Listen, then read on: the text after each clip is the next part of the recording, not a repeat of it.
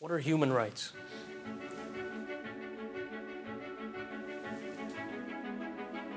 What's an example of a human right? And the, the professor from Ottawa is. Pro- I, I, I would say that. Yeah, yeah. I would say that. Let's le- yeah. Let's take a pass on that one because you're an expert. Um, but anybody else? What's what's a human right? Don't imprison me. for no Don't imprison you. Okay. Okay. Anybody else? Can I answer? Sure. Okay. Uh, Food? Right? Okay. Right to sustenance. Okay. Yeah. Anybody else? Right to life. Yeah. Right to life is a human right.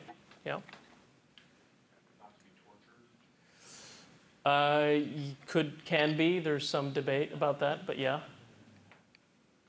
Right to life is definitely a human right that almost everybody universally agrees is a human right. What's the kind of theme that you're seeing in this in some of the answers that we've seen?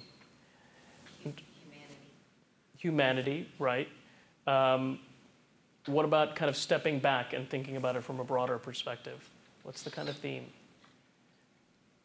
The basic all-encompassing rights. Okay, why do you have a human right?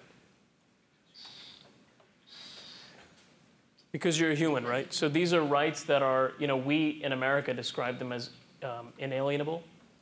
That you have these rights merely because you exist, or should have these rights merely because you exist, that they can't be detached or taken away from you. Um, they're inalienable, right? They can't be severed from you.